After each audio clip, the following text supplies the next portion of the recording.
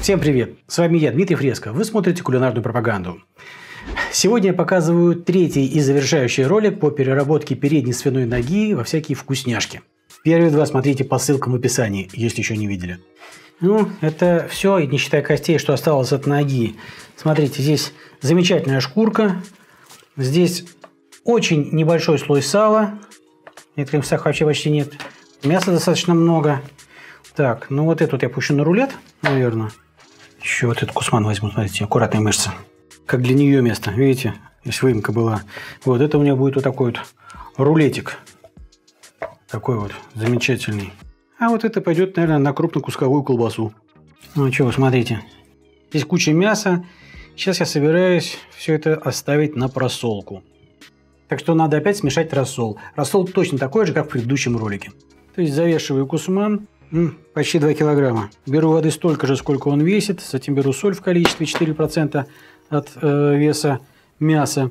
И 2% от суммы веса мяса и веса воды. Половина этой соли поваренная, половина нитритная. Сахара беру в 4-6 раз меньше, чем соли. По истечении времени просолки количество соли в мясе и в рассоле выровняется, и везде он будет 2%. А 2% это такая золотая середина по солености для ветчины. Теперь нашприцевать как следует, по возможности равномерно.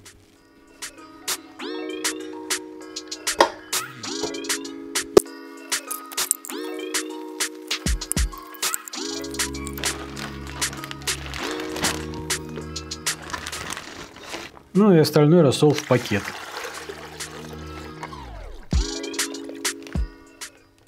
Оставляю просаливаться в холодильнике примерно на неделю. Пакет мне нужен для того, чтобы уменьшить количество рассола, требуемого разводить. Потому что ведь часть соли, которая в рассоле будет, она останется именно в рассоле, никуда не денется.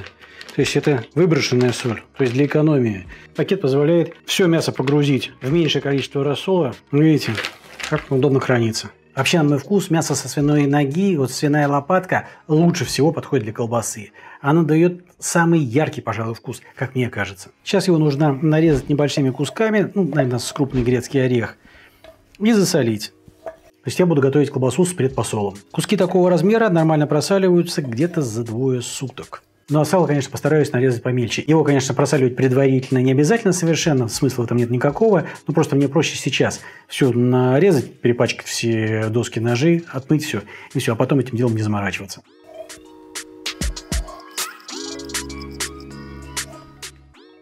Вот он для понимания масштаба, какого размера мяса и какого размера сала я резал. Солю за расчет 2% к весу сырья, причем пополам соль нитритная, соль поваренная. И еще добавляю где-то 0,3-0,4 сахара. Соль нитритная, соль поваренная, сахар. Все перемешать. И на мясо.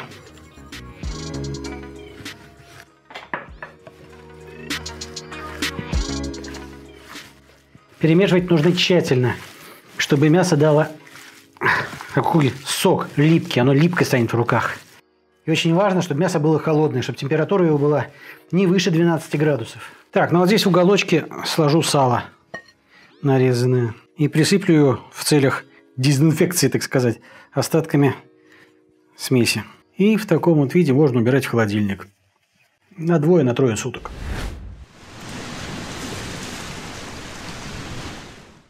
Прошло двое суток, и сегодня я могу завершить приготовление колбасы ветчиной. Э, вся остальная продукция будет готова гораздо позже. Мясо просолилось, сало надо сейчас обдать кипятком, чтобы смыть с поверхности кусочков размазавшийся при нарезке жир. Ну и чтобы сало в результате потом лучше вмешивалось в фарш, более четкий рисунок получался. Для красоты, короче.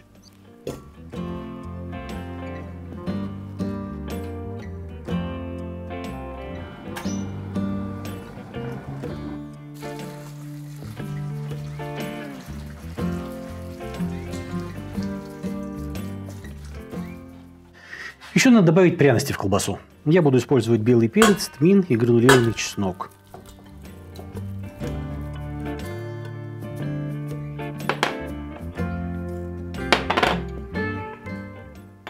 Ну и воды добавлю для сочности, чтобы легче набивать было. Вода ледяная.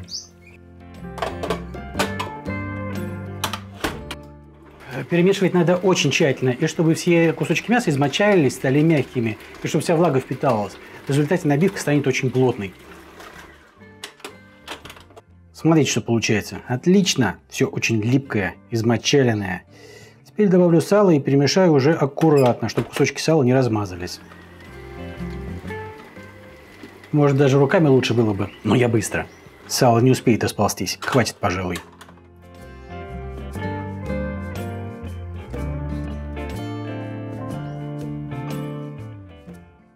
Пора набивать. Я буду это делать при помощи китайского колбасного шприца с Алиэкспресса.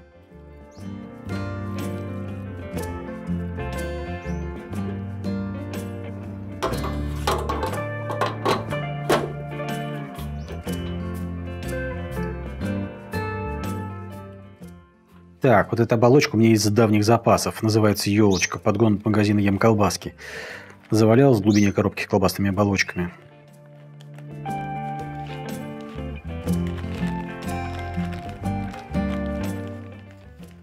Набиваю очень плотно. Перевязать и можно приступать к термообработке. Оболочку, конечно, можно использовать любую, какая вам нравится. А, хотите вы коптить или не хотите, тоже вам решать. Так что это не важно абсолютно.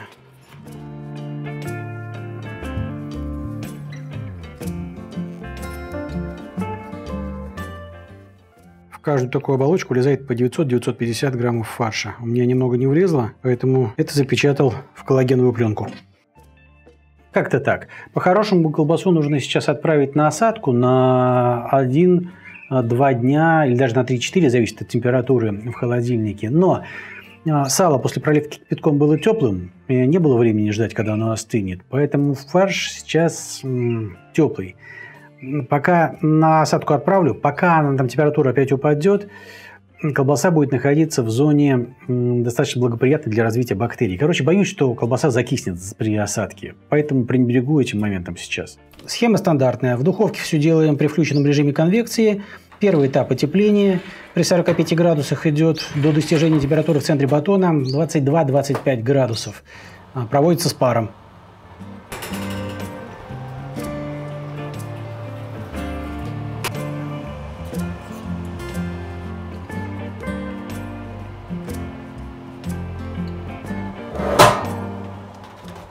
Так, первый термометр – это то, что в духовке, второй – то, что в большой колбасе, третий – то, что в маленькой.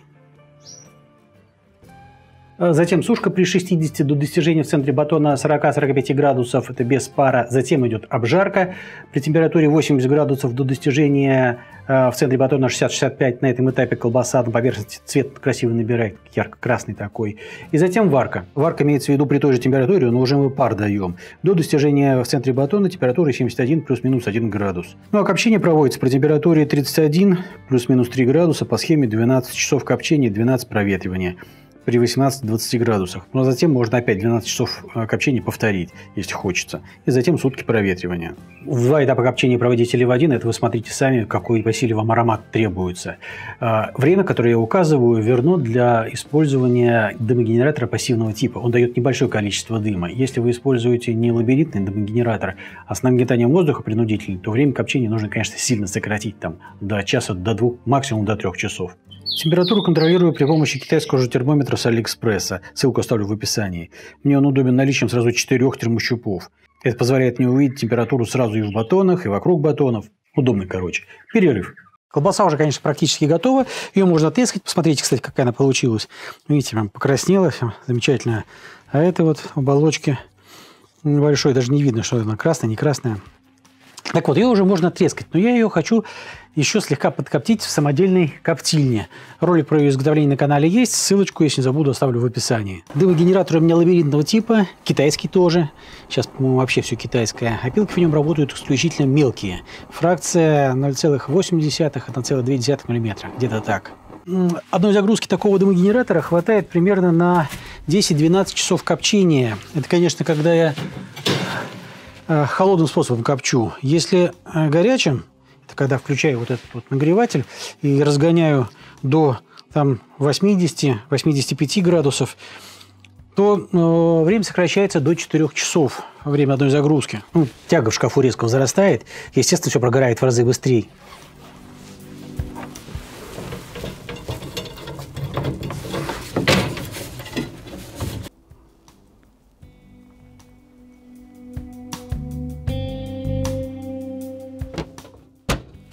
Температуру в этом шкафу настроил на 35 градусов. Вот это сейчас в шкафу, это целевая. Утром колбасу из шкафа выну и дам ей проветриться часов 10-12. Потом посмотрю, может быть, э, сделаю второе копчение, может быть, не буду делать. Не надо сразу, после того, как вы достали колбасу из коптильни, сразу ее в рот пихать. Дайте ей проветриться. Дайте самым резким, самым сильным, самым неприятным запахом дыма уйти. А дайте колбасе равномерно пропитаться этими ароматами. Вот тогда она будет нежная, вкусная, с очень тонким ароматом. Пришла пора заняться рулетом. Он просолился, можно его собирать. Какое-то мне бесперебойное производство вкусняшек мясных получается. Только-только закончил с колбасой возиться, оставил ее проветриваться. Сегодня уже рулетом нужно заниматься. В данном случае хочу получить чистый ветчинный вкус, поэтому никаких специй использовать не буду вообще. К тому же приготовление без специй позволит оставить рулет на созревание на 3-5 дней, может быть даже на неделю. Причем без опасения, что за это время мясо закиснет. Специи у меня совершенно однозначно бактериологически ну, не идеально чисты. Обвязать надо плотно как можно плотнее.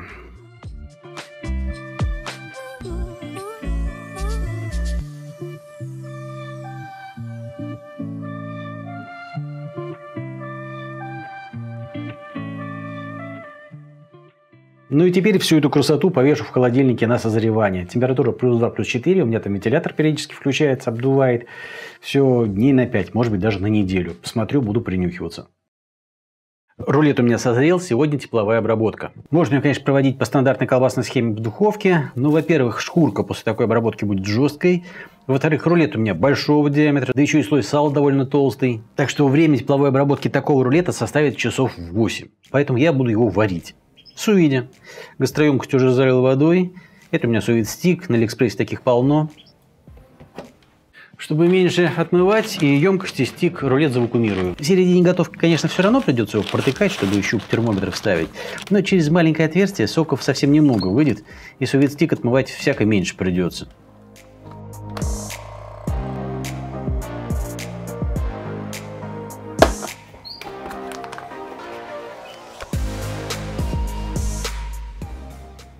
А можно, конечно, и просто пищевую пленку замотать с тем же эффектом. Рулет в емкость, стик сюда же и настраиваю температуру.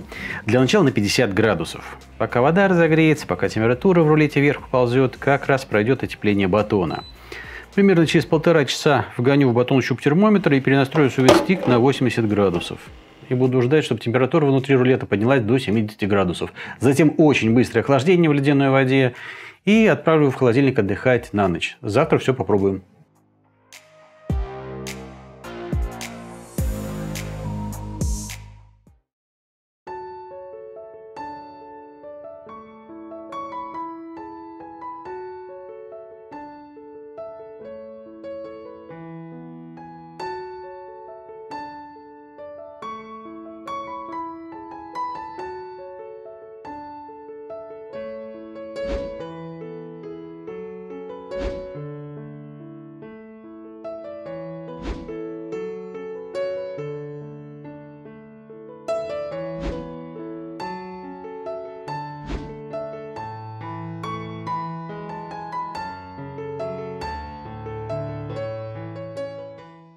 Вот такая красота у меня получилась. И все нарезки готовились к новогоднему столу, я их туда и выложу. Мне кажется, получится симпатично. Так, ну начну я, наверное, с рулета. Слушайте, обалденный аромат ветчины.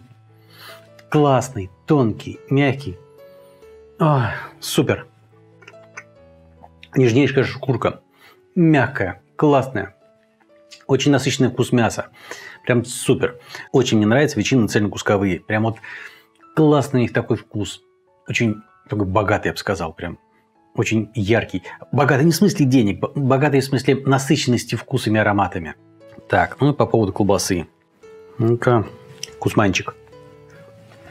Очень вкусная, яркая, насыщенная, пряная, я бы сказал. Просто супер. То есть нарезочка меня на новогоднем столе очень порадует. Вот такая нарезочка у меня получилась на новогодний стол прекрасно понимаю, что этот ролик выйдет, когда все новогодние праздники уже сто раз пройдут для вас.